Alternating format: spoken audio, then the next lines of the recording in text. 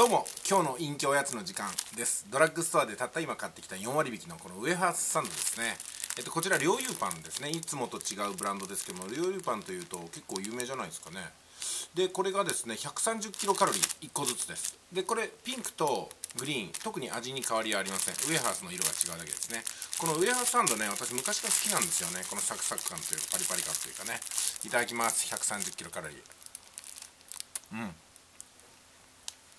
まあ、特にコメントするほど、うん、特徴的な味ではないですけど、うん、食感がね、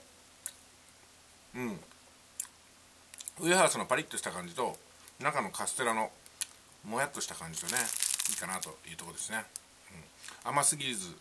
まあそれでいて物足りない味ではなくちょうどいいんですよねこれが。うん。柔らかさとウエハースの風味がパーッとね口の中広がって私は好きですね。ちなみに緊急事態宣言で人流を抑えて短期勝負をすると言いましたけどもなんか余計ひどくなりましたね、うん、やっぱあれはねあの人流を抑えたいんだったらお願いベースの要請じゃなくて主権制限をするぐらいの強烈な措置がいると思うんですよ。でも日本の場合のロックダウンっていうのは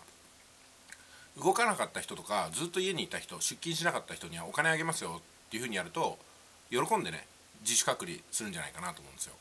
それでいいんじゃないかなと思うんですよね。結局小出しにするもんだから戦力の蓄次投入するもんだからあの昔の日本軍じゃないですけどね。あの最も悪い結果になっちゃいますよね。で被害を甚大にすると。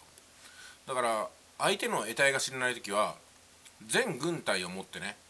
一気にとどめを刺すぐらいな最初に強い措置を講じて調整してた方がいいんじゃないかなと思いますよね、うん、完全なる、えーまあ、判断ミスかなと思いますね。あの菅総理安倍総理の。それかちょっとね今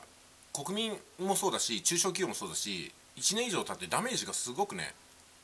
深くなってきてますよね。だからここに救済策として現金を投じる方策をねもう世界で50カ国以上それやってるのに日本だけなんかね麻生財務大臣1人が頑張ってるんですかね。困ったもんですね。麻生財務大臣のおかげでモラルハザードがこれからもっともっと起きるしそれから将来世代にものすごくねダメージがいくんじゃないですかね。何なんですかね。というところでウエハースサンドいただきました。